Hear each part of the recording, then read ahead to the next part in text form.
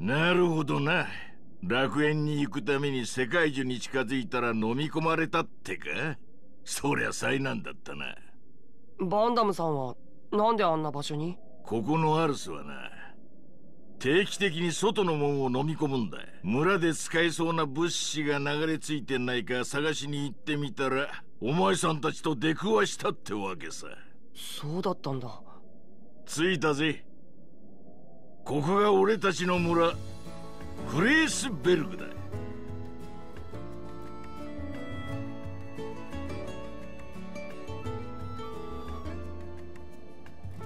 この村って子供が多いんですね。ドライバーとブレードもいっぱいも。ここではな世界のあちこちにドライバーとブレードを派遣してるんだ。子供らはそん時に保護した戦争孤児たちさ身寄りのない子供たちを引き取っているのですね。大人になるまでの間っすけどね。独り立ちしてからはドライバーになるやつもいれば服の仕立て屋になるやつもいる。てめえの人生をどうするかは子供たちの自由意志に任せて。るまあ義の傭兵団ってたかっせ。慈善家なんだね。言うね嫌いじゃないでそういうのしかし腹が減ったな。早いとこ飯にしようぜ。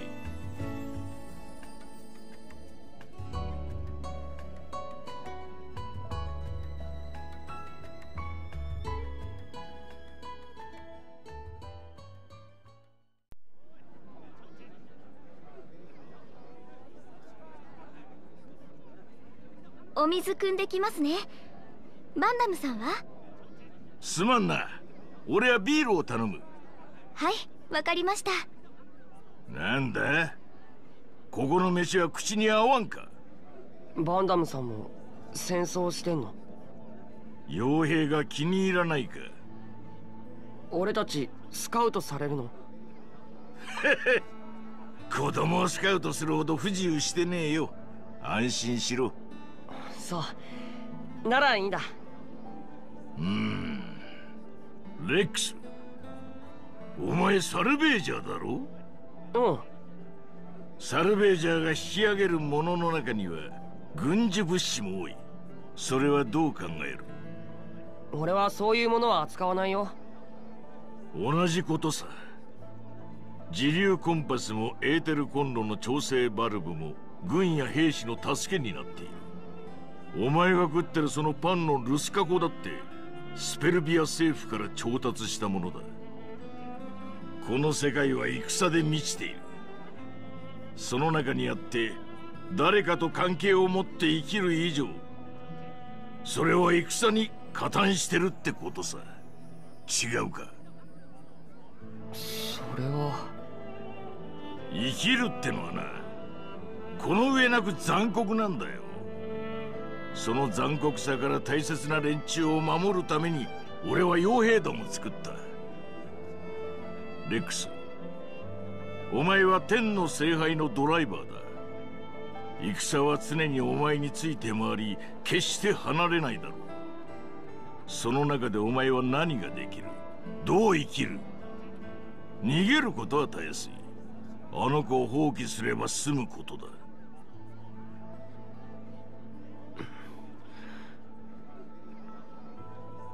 うん行くぞ支度しろ行くってどこへ？いいからついてこい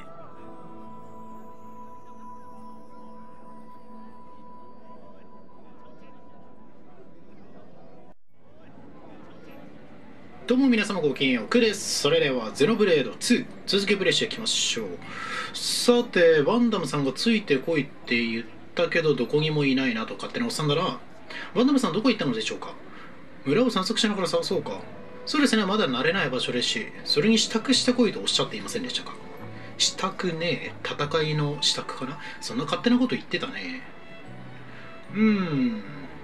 お店もあるみたいだから装備を整えながらバンダムさんを探そう。まあね、でも装備品はね、今のところ多分そんな揃える必要ないとは思うんだよね。うーん。じゃあね、えっ、ー、と、まずはブレイド管理から同調。まず今回2回分ずついきましょうか。シンプルモードやってみようか。ちょっとね。飛竜はい。セットはしない。シンプルモードってそんな感じなんだ。一応一応通常モードでやりますか。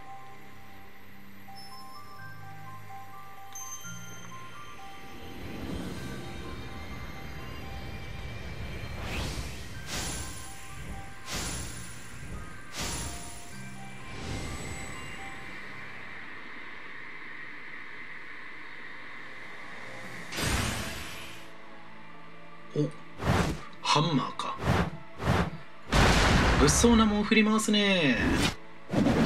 おおよろしくお願いいたします。お珍しい武器だな。緑。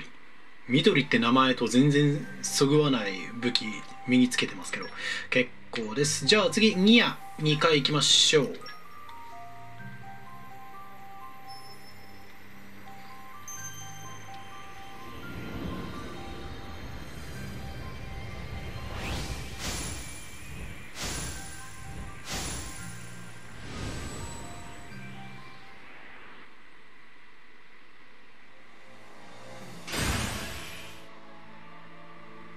同じやつかなと思ったら違った。なんだ？あー刀か。だから見た目みんな一緒なんだよな。なんか男性型か女性型かぐらいの差しかねえわ。リンド。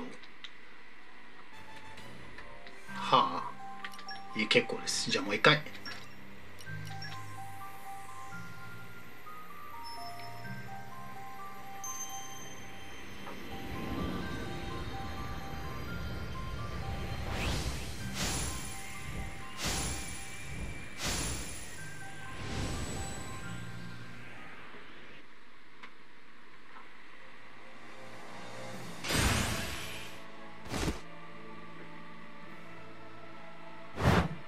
ただ男型ってだけじゃなくて図体がでかいやつもいるんだ。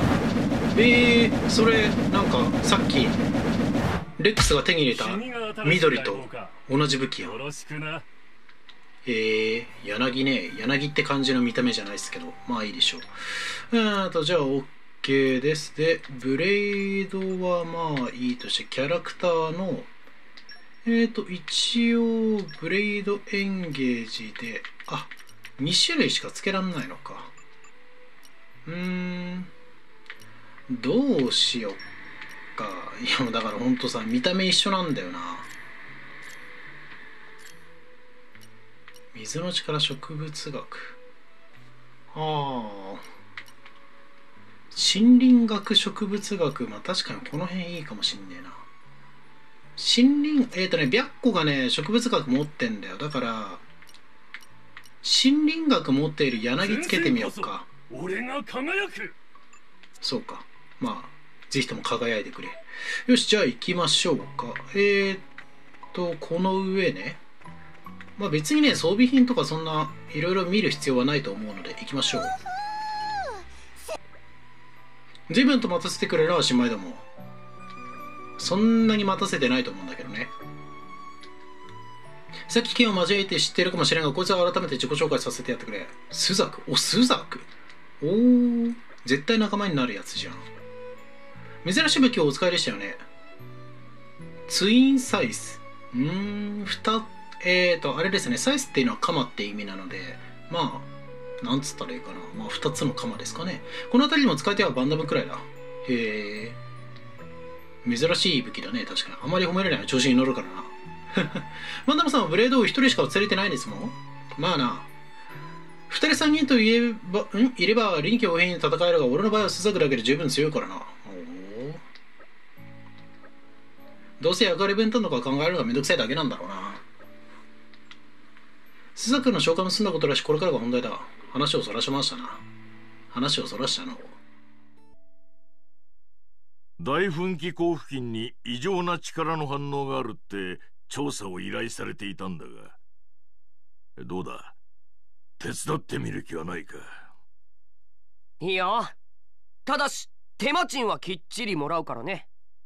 言うじゃねえか。うんじゃ行くぞ。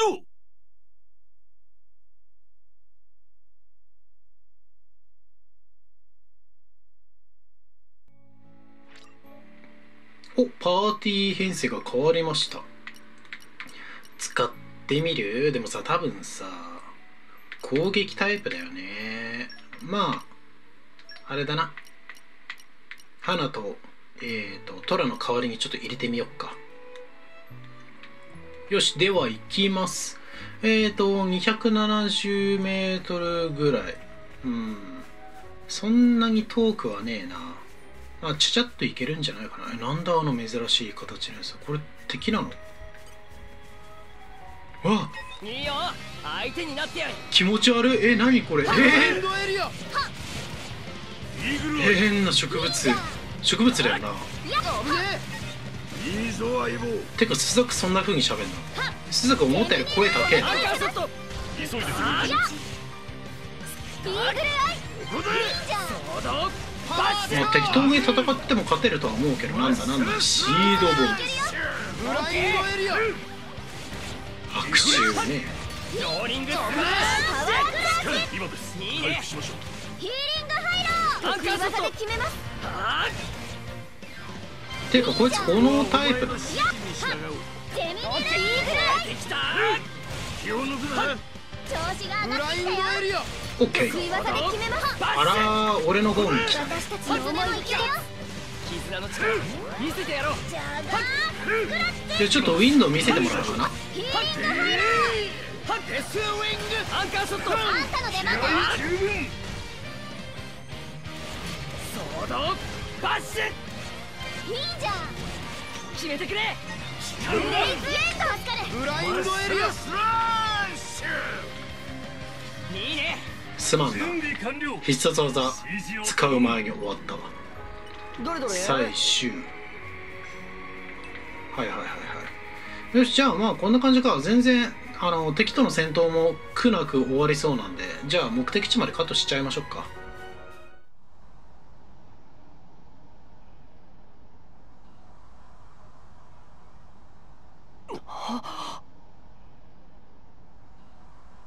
初めて見るのか？これがエーテル正気だエーテル正気？アルスの体から漏れ出る毒素いわゆる老廃物だ。俺たちも汗をかくだろ似たようなもんさ。こんなのがあっちゃ先に進めないよ。他に道もなさそうだし。まあ見てな。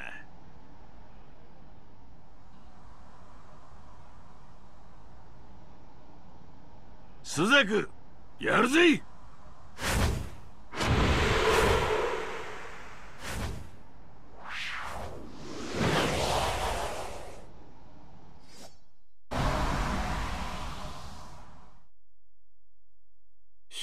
気が消えた。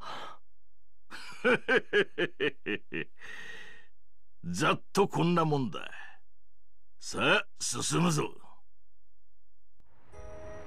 もう正直何をどうやったか全然分かりませんでしたけどいいんですかねああいうので。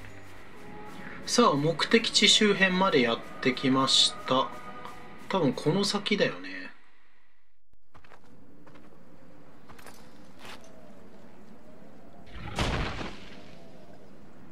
アルドンかおあつらい向きだな。レックスアンカーを使うのは飛びか。まあそこそこには。ちょっと貸してみろ。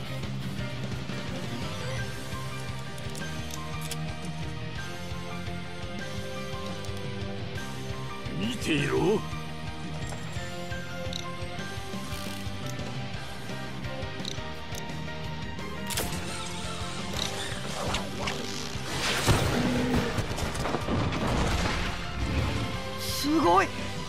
で輪を作れるなんて伸びきったところでワイヤーをたわませるのがコツだ。実戦でやってみせろ。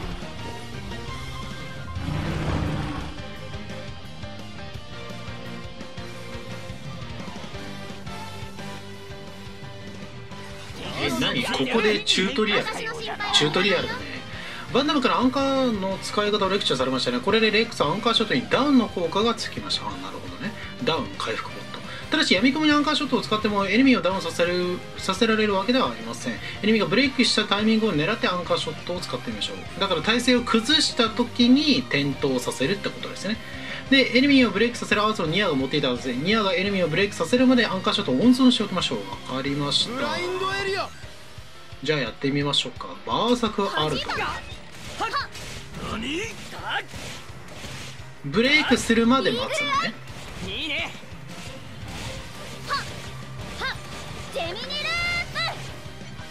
まだだね。じゃあそれまでは普通にこうやってソードバッシュとか使ってみましょう。かまだだね。まだだね。まだ。まだ？弾いたのこのまま気を引き締めてアンカーショット多分もう2回目使えるぐらいまで時間経ってるよ。この勝負もらった大丈夫です。ありがとうヒーリングハイローリングスマッまだねえニアまだす。いません回復しましょう何そのニアそろそろお願いします。ニアさんそろそろお願いします。パワーチャージ。いいねローリングスマッシュどうだ？もういいです。もうもうニアの HP がやべえ。このような下賤な獣にも敵の攻撃にお気をつけください。オッケーオッケー。ちょっもうやっちゃいましょうやっちゃいましょう。もう。とはい。レックス。バーニング。ソード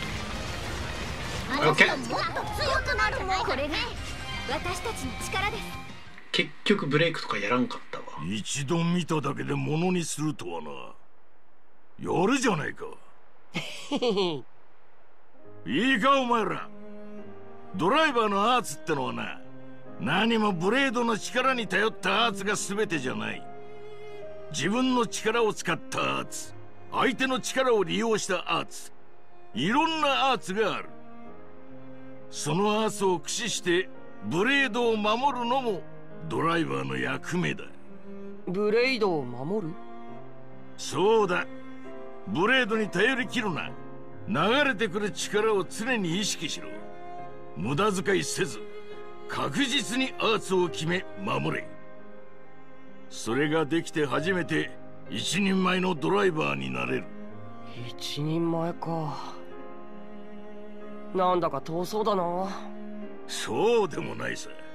さっきの技だって得得するのに俺は5年かかってる。5年も？ええ。だがお前は一度見ただけで物にしちまった。レックスをサポートするニアやトラの動きもなかなかどうして大したもんだ。お前ら見どころあるぜ。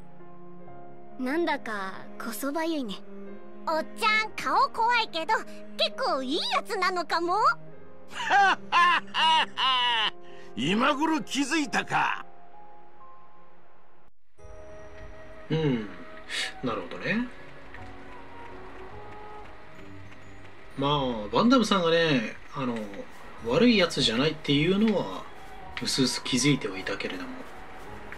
まあ多分レックスたちのことを心配してのレクチャーなんでしょうねよしじゃあ本来の目的地までもうちょい進んでいきましょうか。やはりな。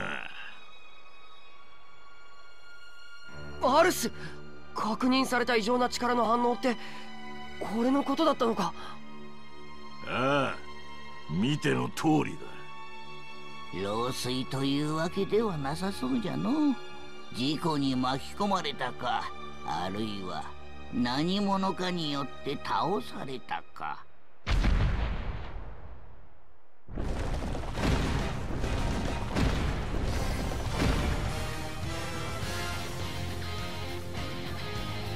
大物だ。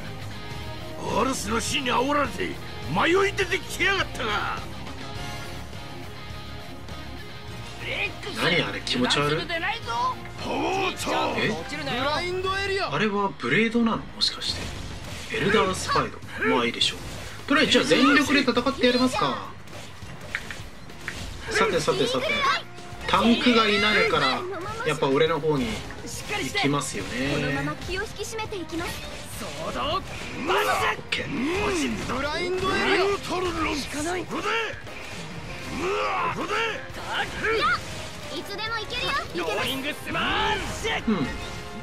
まあ別に問題はなさそうだな。急いで拾いましょうここでアンカーショットいいじゃんだよね。伝わってくる負ける気がしない。これ一応拾うで何度でも立ち上がれる私たちのブラインド勝ちのエリアいいね。まっすぐスラパーワーチャーいけます。バッシュえー、おなん急だ？とりあえずでも、油断さえしなければ大丈夫よしよし一応これ拾っとくか。オッケーオッケー。ここはお前の指示に従うーフェミニループわかりましたやってみます。準備 OK オッケーローをリングスマッシー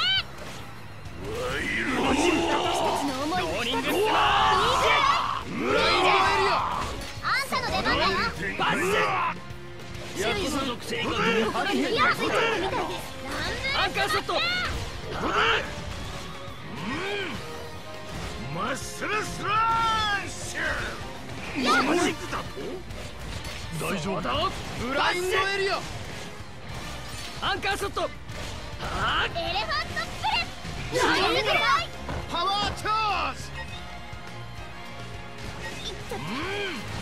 ローリングスマッシお嬢様は私がお守りいたしますュ効かないフェミニループパワーチャージここでブラインドエリア急いで拾いましょう指示を送りましたクリアクラッよしこれで決めましょう。はい。レックス。バーニングソー足で隠れて見えてない。ドどうだよじっちゃん。これが私たすちの力です。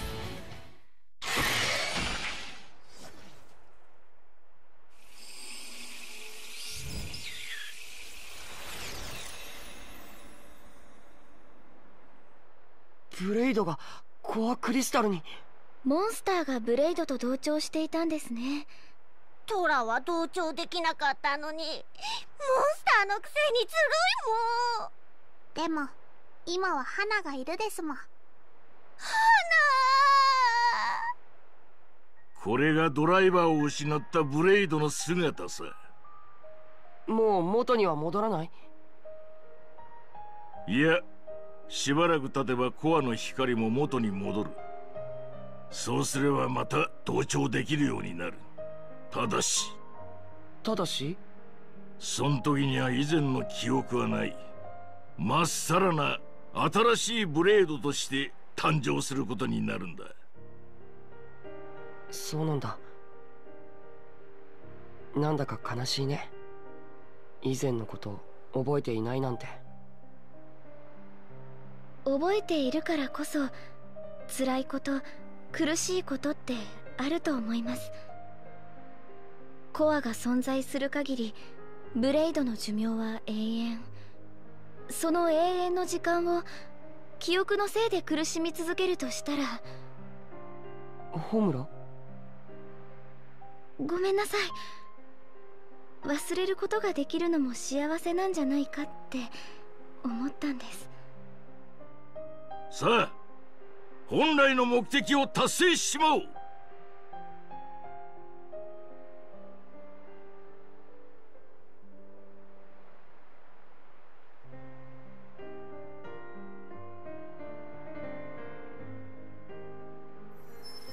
それは。コアクリスタルだもん。ブレードのコアはアルスから生み出される。こいつはまだ何者とも同調していない正真正銘生まれたてのコアだ。このコアは今後あまたのドライバーと出会いその死を経験しそしてまた記憶を新たにして別のドライバーと同調していくんだ。アルスの死。ドライバーの死。数えきれないほどの死の上にブレードはある。意志ある再生が歴史を作っているんだ。長い長い。人以上の歴史をな。人以上。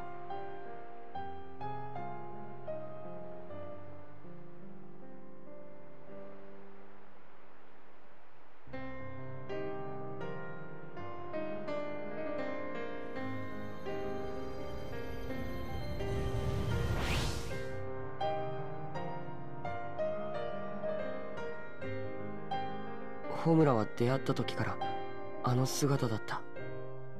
ホムラのドライバーはまだどこかで生きているんだろうか。それとも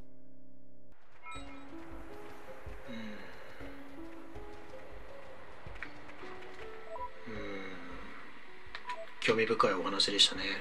えー、っとどこに行けばいいんだ？もしかしてキャンプ場に戻ればいいかな？ですね。行きましょうか。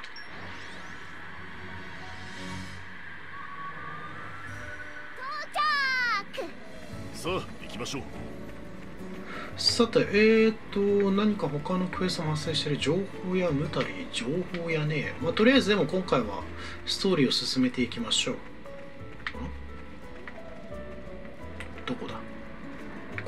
ちこっちじゃね？えどっちだ？こっちか。OKOK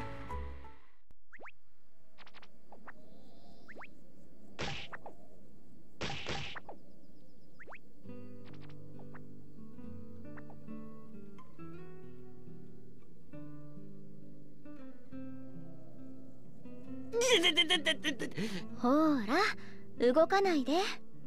男の子なんだからこのくらい我慢です。そんなこと言ったってしみるもんはしみるって。そういうホムラはどうなのさ？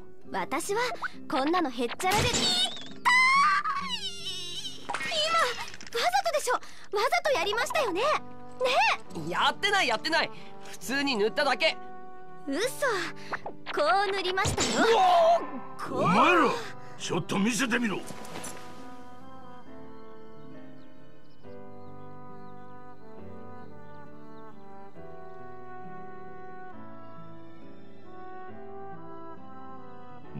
なんてこった？これは一体どうしたってんだ？どうしてブレードであるお前が傷を負ったままなんだ？しかもレックスと同じ場所に。信じられん。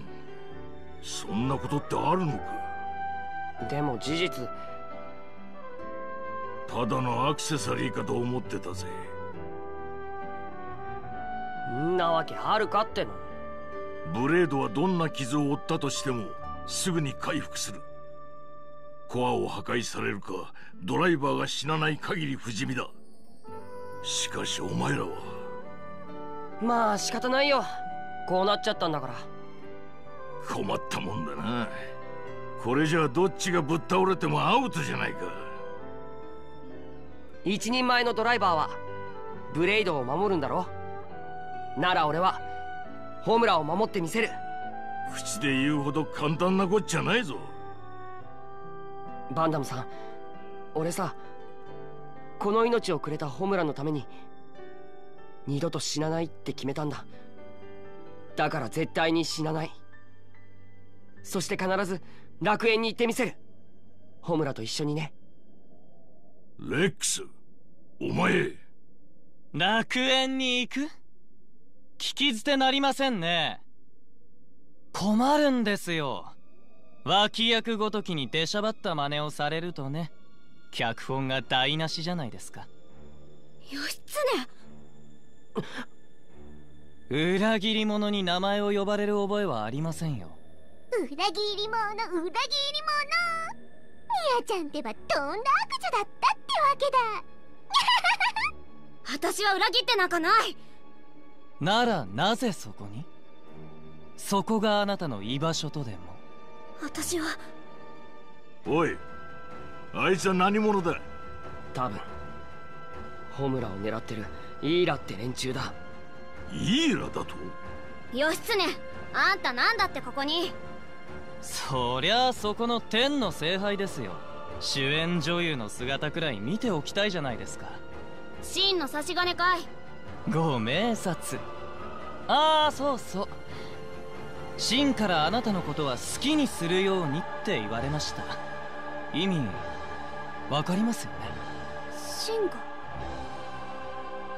嘘だ！おやショック。まさか見限られないとでも思ってた？お花畑すぎるでしょ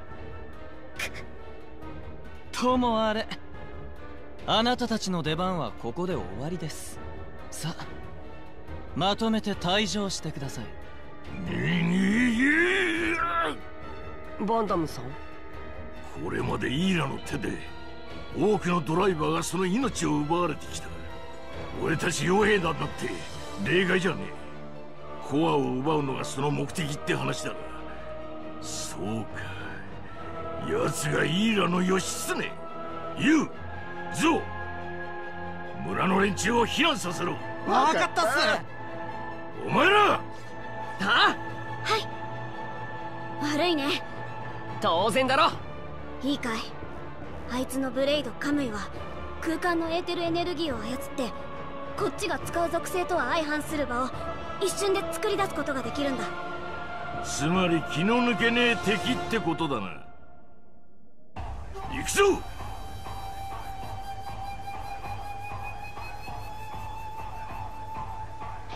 俺たちの力見せてやろう。なんだかっこいいな傭兵団長に挑むとは相手を間違えたな。OK ではそろそろ仲間のドライバーとの戦いにも慣れてきたと思います。ここでパーティー全体でエネミーに大ダメージを与えられるチェインアタックの説明をしたいと思います。まずはパーティーゲージこれは前に説明したと思いますが戦闘不能の仲間を助け起こす以外にも重要な役割があるのです。このゲージが3まで溜まっている時にプラスボタンを押すことでチェーンアタックが発動します。プラスボタンチェアタックが発動するとドライバーがエンゲージしているブレードの必殺技を順番に選んでいくことができます。例えばレックスがエンゲージしているホムラの必殺技を選び次にニアがエンゲージしている白虎その次はトロがエンゲージしている花といった具合ですこの一順をラウンドと言いますチェーンアタック中はブレードの必殺技を選ぶことによってエネミーについてしまった属性玉を割ることができます属,、えー属性玉の反属性の必殺技を使うと玉はより割りやすく割れれば大ダメージを与えられますなるほどどのブレードをどの順番で呼び出すかよく考えて必殺技を選びましょう。するとチェーンアタックが始まるとパーティーゲージがフルバーストゲージに変化します。はい。フルバーストゲージは属性玉を割るごとに少しずつ溜まり満タンになるとフルバーストが発生します。フルバーストが発生すればエネミーに大ダメージを与えることができます。前に属性玉をブレードコンボを3段階目まで決めないとつけることができないとお伝えしましたが特別に今回は特別に義経に水の属性玉をつけてみます。水の属性玉を効率よく割るためにはい反属性である火の属性の、えー必殺技でダメージを与えるとここまで言えばもうお分かりでしょう。分かりました。バディゲージをマックスまでサービスしますのでまずはプラスボタンを押してチェーンアタックを開始してみましょう。了解です。では行きましょう。ブラインドエリア。水で。さあ早速行きましょうか。狙ってるね。では行きます。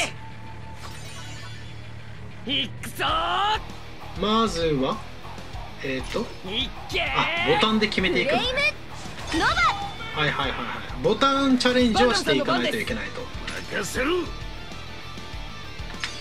デスウィング！オッケーオッケーオッケーオッケーオッケー頼ん。だぞニアえ出番だよーっと水土でいこうかあんたの出番だよ。邪魔はさせほいもうょっと危ねえ。まだ来たんか。私の力を見せてやるか。ケーほいオッケバンダムさんの番です。ーまだいけ俺るの番だ。あ同じやつ選べるオッケーオッケーオッケーオッケー。頼んだぞニア任せときなって。ほい。オッケー2万2700ダメージ3分の2一気に削りましたね。これはでかい。最高。よ。ろしくアンカーショット今ですジェミニ大丈夫よしよしよし行きましょう心強いねいいじゃんない嘘ローリングスマッシュはじゃあまず俺がヒートやっちゃうか？今です回復しましヒーリングよいけます。みんなよしじゃあルミナンスプラスリボルもいけるよスラスラオッケ大丈夫フライなーサンキュー私たちの思いは一つ。標よしオッケー準あるのみ脚本通りに動いてもらわないとありがとうございます。光栄ですよ。天の聖杯と同じ舞台に立てるなんてねなぜ？ドライバーなんかダメージが連動してるみたいね。あの二人。天の聖杯は今人と同じで不死身じゃないんだ。だったら十分弱らせておいた方が後の作業がやりやすくなるね。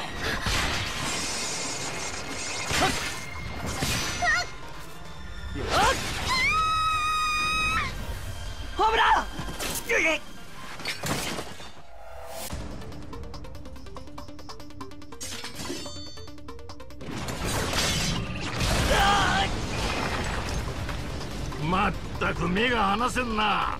お前たち二人からは。バンダムさん。こういう敵にはこんな戦い方もある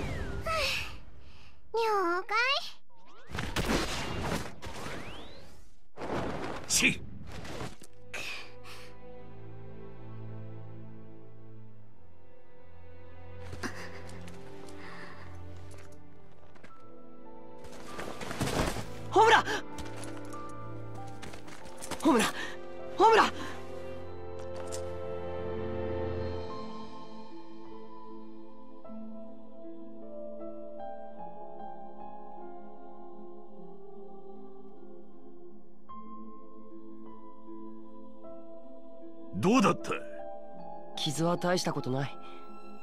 疲れて眠ってるだけだって白虎が。そうか。俺また力を使いすぎちゃったのかな。なあレックス。俺とあの義経ってやつの違いは何だと思う？そりゃあいつはホムラを狙う悪いやつでバンダムさんはいい人？そいつはありがたいこったがどっちも違いはないって言ったらどうする？村の連中は義のために戦をしてると信じている。けどな義のある戦なんて存在しねえんだ。義なんて言葉はな手前勝手な強弁よ。戦は戦自分を守ろうとすればするほどそこには対立が生じる。それが拡大したのが戦だつまり俺には俺の奴には奴の戦があるってことだ。でもあいつのやってることは当然だ。肯定なんかしねえよ。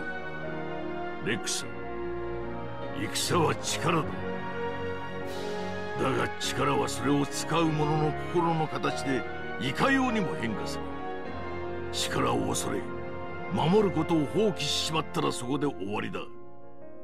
何が正しくて何が間違ってるかなんて誰にも決められねえ。ならとことんお前の大事なものを守れ。大事なもの？それがお前の戦だ。俺の戦。おはようございます。ホムラもういいの？はいたっぷり寝ましたから。そっかよかった。それよりニアがレックスに話があるって。ニアが？さあレックスに話して。ああああのさレックスちょっと付き合ってほしいんだ。付き合うってどこへ？バンダムんとこ。義経たちとのことさ。ちゃんと話しときたくって。ああそれ。いいよ。俺でよければ。助かるよ。ミア最初は一人で行くって言ってたんですけどレックスもいた方がいいんじゃないかって私が。いや正直いてくれると助かる。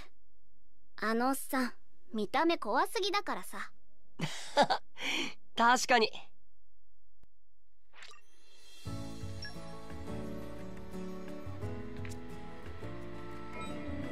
あ OK です。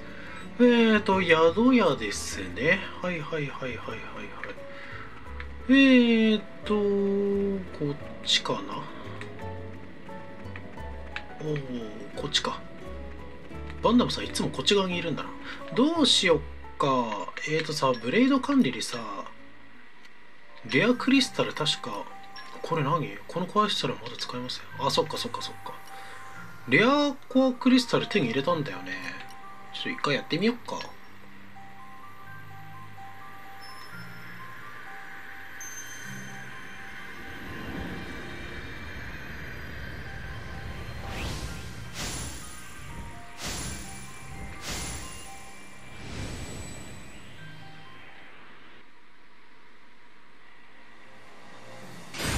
いやーレアコアクリスタル使ったのに。えしかもこれ。えー、緑かい。ダブることあるんだ。私の活躍見ててよね。えカリン？え待って待って待って待って。え？待って待って待って待って。えどどどういうこと？え？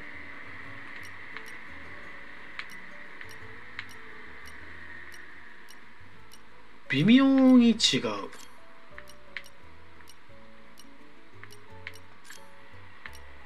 えそんなことある？はあ。あでも微妙に違うんだ。えー、こんなことあんの？全く見た目一緒じゃん。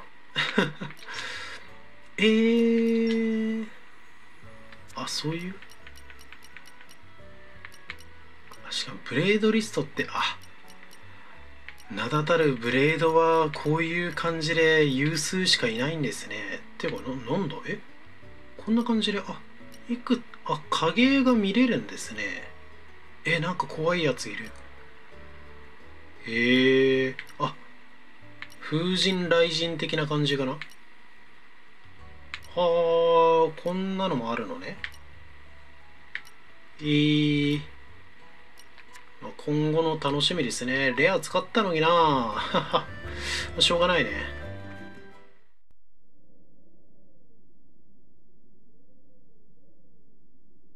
おいお前ら。どうしたこんな朝っぱらから？ニア昨日は助かったよ。あんたがいてくれて。それでねあの義経ってやつあいつのことなんだけどさ。私さ実はあいつと傭兵をやってるとないろんな事情を持ったやつと出会うんだ。え？国のため家族のため金のためさまざまな理由で戦ってる奴らとな。中には胸に妙なクリスタルこさえて彼女のためだ！なんて変わったやつまでいる。お俺？いや俺はただ。ニヤお前は今こいつらと共にいる。ならそれでいいじゃねえか。バンダムあんたは？それよりレックス楽園に行きたいって言ってたよな。うん。でも正直困ってる。世界樹の近くにあんなのがいたんじゃ誰も近づけないよ紹介の飛行船で渡ろうとしても落とされちゃうだろうし。インビディアオートに俺の古い知り合いがいる。そいつなら生き方を知ってるかもしれん。本当に？うんちょうどオートに行く用事がある。ついでに紹介してやるよ。ありがとうバンダムさん。なにこれも何かの縁だ。気にするな。準備ができたら村の入り口へ来いそこで待ってる。うん。まあバンダムさんの言う通りかな。正直。昔はどうあれ今はねレックスたちと一緒に行動を共にしてるわけだから別にいいと思うんだよね。何などうした？え？何頭抱えてんの？お前。しかもクエストがあるわけじゃないのかよ。怖えわ OK えーとじゃあどうしようかな。そろそろ骨休めの広場こらここらでセーブして終わりにしようかな。受付はい。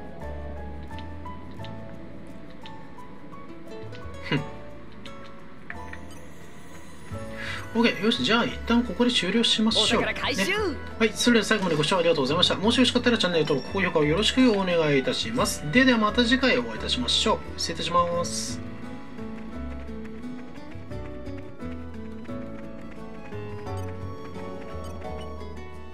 皆さんお茶が入りましたよ。はいどうぞ。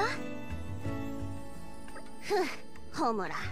全然わかってないもんトラ君はお茶じゃない方が良かったですか？まあそうじゃないもん。ホムラの一挙手一投足が一流のメイドには程遠いと思っただけも。メイド？トーラホムラは親切心でお茶を入れてくれたんだぞ。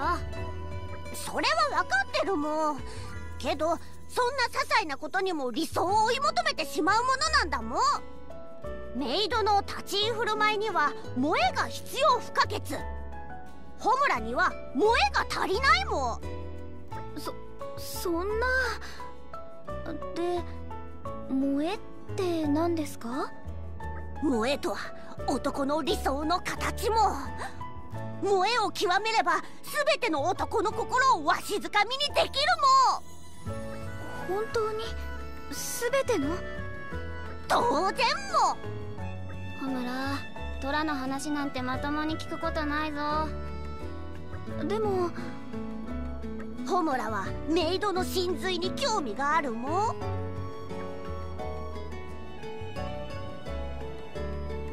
レックスが喜んでくれればいいです。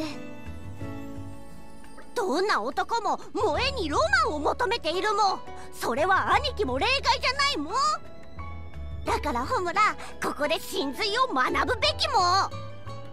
なるほど。わかりました。トラ君よろしくお願いします。おいホムラ。ではこれから萌えの真髄を体得してもらうも。ん最強メイドカムヒア。おかえりなさいませ。お兄ちゃんキュンキュン。は花ちゃん？おいトラ花が壊れたぞ。心配いらないよ。花は現在対レックス萌え萌えモードで起動中だよ。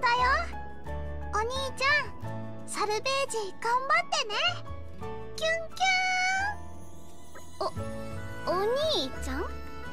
ここれが萌えさあホムラ。花のセリフを真似するも。んお兄ちゃん。花はお兄ちゃんに萌えキュンだよ。おお兄ちゃん？ホムラはお兄ちゃんに萌えキュンだよ。ダメも。その程度の萌えでは兄貴の心を握りつぶせないも。んもう一回言うも。んお兄ちゃんホムラお兄ちゃんに萌えキュンだよ。まだ甘いもん。うんこりゃダメだ。付き合ってらんない。